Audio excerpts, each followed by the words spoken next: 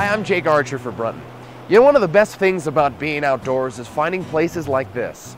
But it isn't always easy to get where you want to go, not without the right tools and the proper compass. Now, the compass has been around for hundreds of years, and there's lots of advances in navigational gear, but the ABCs of map and compass are the keys to wilderness travel and survival.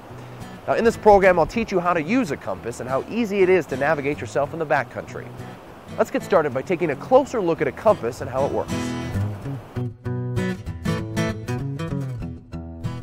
The Earth is surrounded by a magnetic field to which a compass reacts. This field is centered above the Hudson Bay in Canada and is called magnetic north. A compass uses magnetic north as a reference point, and from this can be used to point at or sight other landmarks like mountains, trees, or man made features. Using magnetic north, a compass can determine your direction of travel, set a course to a destination, and find your position on a topographical map. For this DVD, we will use the Brunton 8010G compass. It's well suited for general navigation and map planning. Although many compasses have slightly different features, the 8010 will be used throughout the program. The base plate or bottom of the compass is used to hold the compass stable when taking a bearing and features several scales along the edges to help measure distances on a map. This model also features a built-in magnifier to provide a closer look at smaller map details. The travel arrow down the middle of the base plate is used to indicate the direction of travel and to point at or sight nearby landmarks. The azimuth ring is the white rotating dial that is marked from 0 to 360 degrees in 2 degree increments. It also shows the cardinal headings for north, south, east, and west. These compass directions are measured just like a circle, with 0 degrees representing north. As you move clockwise around the dial, east is represented by the 90 degree mark, south as 180 degrees, and west as 270 degrees. The declination scale is generally located on the inside of the azimuth ring and is marked in 2 degree increments to adjust for deviation from true north. The vial holds the magnetized needle and is liquid filled to provide quick, accurate readings. The red side of the needle always points to magnetic north. The bottom of the vial also features a red and black orienting arrow that is used to align the azimuth ring to the proper orientation with the magnetic needle or magnetic north.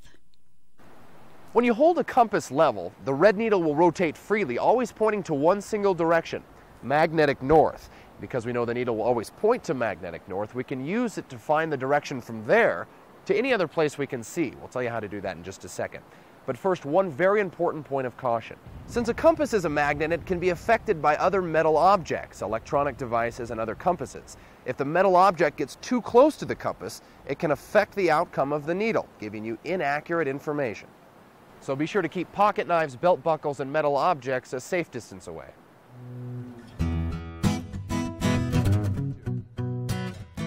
Now that we've learned the parts of a compass, let's move on to taking a bearing. A bearing is the number of degrees or direction from north to an object. Now, once a bearing is established, you can use that information to navigate and find your position in the field or on a map. Bearings are measured in degrees, just like a circle. Let's say I wanted to find the direction or bearing from where I'm standing now to that tree where my backpack is over there. The first thing I do is I hold my compass level with the travel arrow pointed away from my body. Hold the compass in a position where you can read it easily. Next, I'll move my entire body towards the object. Don't just point your hand. Rotate the azimuth ring until the red orienting arrow is aligned with the red needle. This aligns the compass with the directions printed on the azimuth ring, so make sure you're holding the compass level and the arrows are lined up. We can now read the direction to my backpack by reading the index line on the travel arrow back to the scale on my azimuth ring. Now right now the compass tells us we're about 214 degrees from the north in a southwesterly direction. Let's try another. Let's take a different bearing in a different direction, maybe to that peak on the ridge over there. Remember to turn your entire body with the compass and sight the landmark within the travel arrow as accurately as possible. Now let's use the azimuth ring to line things up again. Now I see that the bearing to the peak reads at about 134 degrees. Once you've got the hang of sighting a visible landmark, you can repeat the same steps to locate or navigate using a map, which we'll learn about later.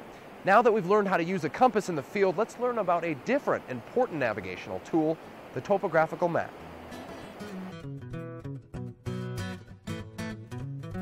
One of the most important elements of a successful navigation is to plan your trip before you even head outdoors. The best way to get a lay of the land is by using a map. Now, there's all kinds of different maps, from road maps to atlases, gazetteers, and topos. Now, whatever kind of map you use, it won't do you any good to just go through it without even learning how to read it. So take the time to get to know your topo. Use the symbols and terminology and coordinate systems. Map reading is an essential tool. It could keep you found, and it could save your life. The basic map used for most outdoor navigation is the U.S. Geological Survey's 1 to 24,000 scale topographical map.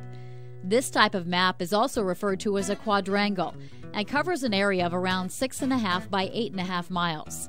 A topographical map represents a three dimensional picture of the land as it would be seen from overhead. The map shows a variety of features using colors and symbols. Vegetation and forested areas are shown in green, while lakes, streams, and rivers are shown in blue. Any man made features such as roads, buildings, and towers are indicated in black. The brown lines represent elevation or the contour of the land. Contour lines are used to show the elevation, form of the land, and indicate how steep or flat it is. The closer the contour lines, the steeper the slope. The contour lines allow you to get a graphic picture of what the land looks like from the ground and will help you determine the best path. The bottom of the map features a legend which indicates the map's scale, contour interval, and the magnetic declination. At the top of the map, the area covered and the map name are shown, along with the latitude and longitude of each corner of the map. The latitude and longitude references allow you to define any position on the map and are handy references to enter into a GPS receiver. As you can see, the topo map is a great way to get a mental picture of your surroundings, and after a little practice, you'll be able to quickly find trailheads, peaks, valleys, and other points of interest to make your trip more successful. Also, getting familiar with the contour lines on the map is a great way to try and get around rough or impassable terrain. But before we start planning our trip using a map and a compass, it's important we touch on one more very crucial point magnetic declination. Declination is the difference between true north, which maps are drawn to, and magnetic north, which is what the magnetic needle of a compass points to. True north is represented by the geographic North Pole, while magnetic north is located near the top of the Hudson Bay. If you are simply taking bearings in the field without reference to a map, it is usually not necessary to adjust for declination, as your bearings are all in reference to magnetic north. However, magnetic declination must be accounted for when using a map in the field, or you may find drastic errors in your bearings and position calculations. The difference in true north and magnetic north is measured in degrees east or west. In areas where true north and magnetic north align, the declination would be zero. If the magnetic needle of a compass points west of true north, the difference would be called west declination. If it points east of true north, it is called east declination. Declination is shown on most topographical maps using a declination diagram in the bottom left hand corner of the map. The diagram shows an arrow representing true north, grid north, and magnetic north. The angle and direction of declination is indicated in degrees next to the magnetic north arrow. If the declination diagram does not appear on the map, look for a numeric value of declination in the map legend.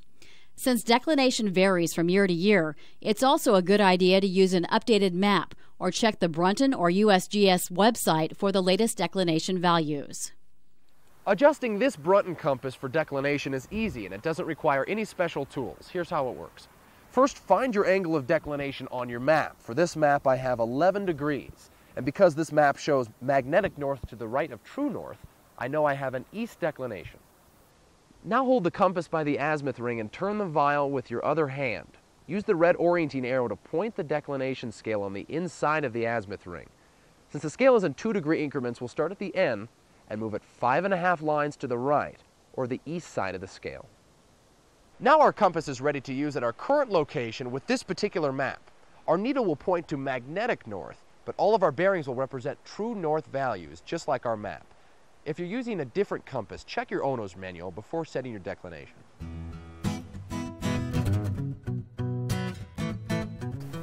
To use the map and compass together, the first thing I need to do is turn the map so that everything is in the right perspective. We call this orienting the map. The easiest way to do this is with the compass.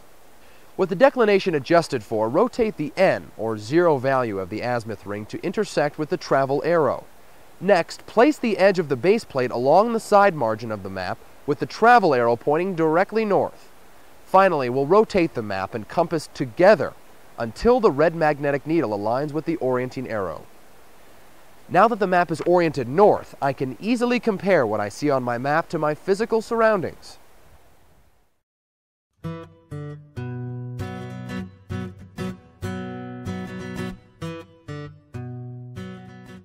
Today I'm headed out for a short day hike to an alpine lake I spotted on my map.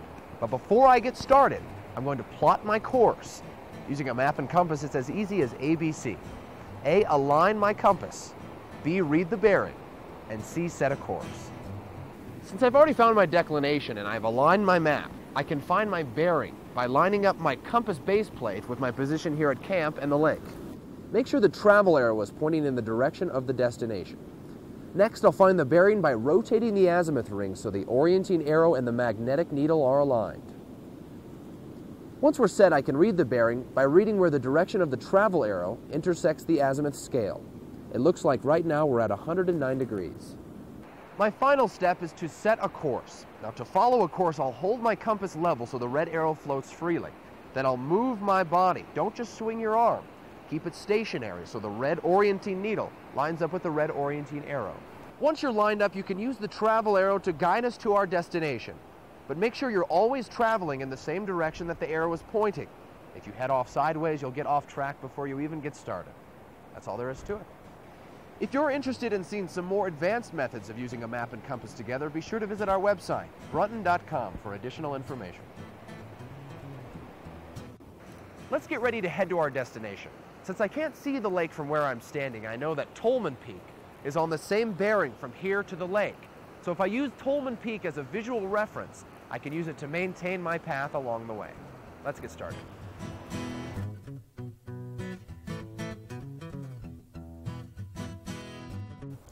When making your way through the backcountry, it's important to put your observation skills to good use. Make a mental note of distinguishable landmarks and trail deviations and stop to look back at the trail several times. Since using a compass and a map relies on visual references, the more details you can remember, the more successful you'll be.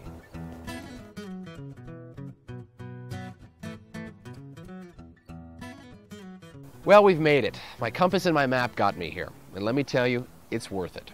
But I've had time to take a look at the view, and I've had time to get a bite to eat, so it's time to head back. But before we do, we need to take a look around. We're headed in a different direction, so things will look a little bit differently.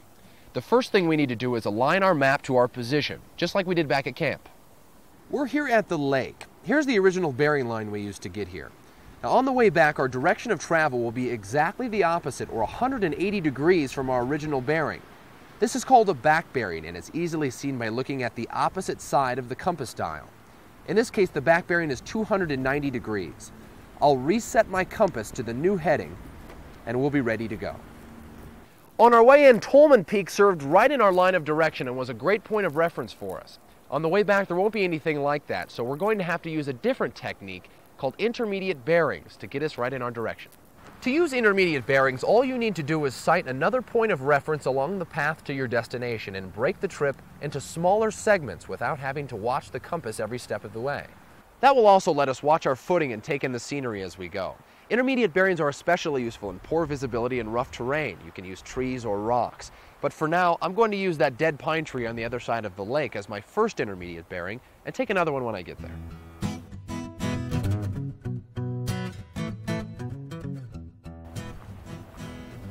I'm making really good time. But I just noticed a spot over here that I'm going to check out as a campsite for the future. So I'm going to break away and do a little exploring. But when you leave the trail, it's always important to make a mental note of where you went off in case you want to come back.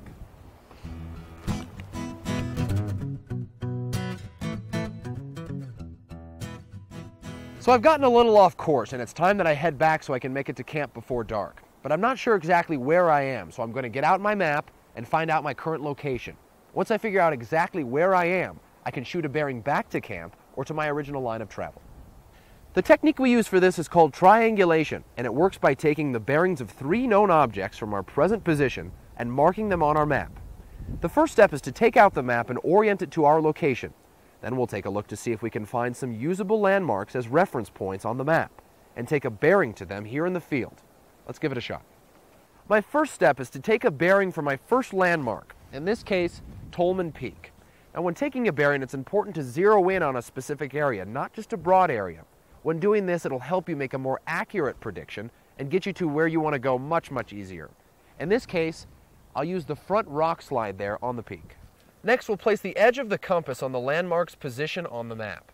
With the travel arrow pointed in the same direction as the landmark, pivot the compass keeping the edge on the landmark until the red side of the compass needle is aligned with the orienting arrow. We'll use the edge of the compass to plot the bearing line on the map. We know that our position is somewhere along this line. To get a better idea of where we are, all we need to do is repeat the steps of that process to get a cross bearing. In this case, let's use Black Pyramid Mountain. Now we'll follow the same steps to plot the bearing line on the map. Notice that the second bearing line crosses the first bearing line right here, which theoretically represents our location on the map. Since finding a visual bearing isn't an exact science, we run the risk of errors in finding our location. So to narrow it down a bit, all we have to do is take a final reading. We'll use that sharp peak back there. When we plot out the line, you can see that we've created a small triangle on the map. If we've done a good job taking accurate bearings, we can be sure that our position is somewhere within this triangle. The smaller the triangle, the better we did. If you end up with an unusually large triangle, you may have made a mistake. Try it again. Ours looks pretty good, so let's see about getting back to camp. We know that we're here, and we know our bearing, but there's some pretty difficult terrain in the middle, so we're going to try to get back to our original course. Getting back to our original line of travel requires another compass technique called navigating to a baseline. Throughout the DVD, we've seen how you can take a bearing to a landmark by drawing an imaginary line to your destination. This line is known as a baseline.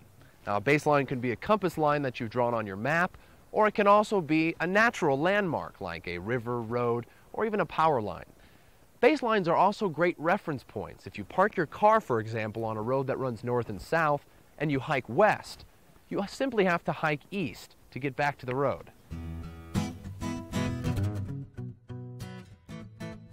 Using a baseline is also a very important tool when trying to get around an obstruction or an obstacle, like this lake that you can't walk through.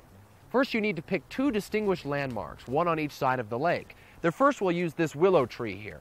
The second one will use the rock on the other side of the shore. And it's important to pick an obstacle that's large enough so that you can see it.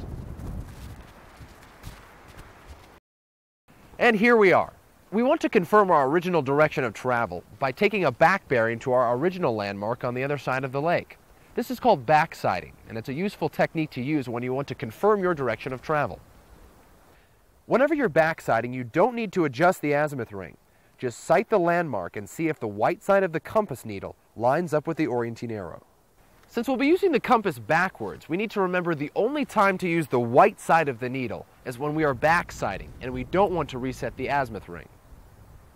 Now that I know I'm back on my original course, I can continue on my bearing back to camp.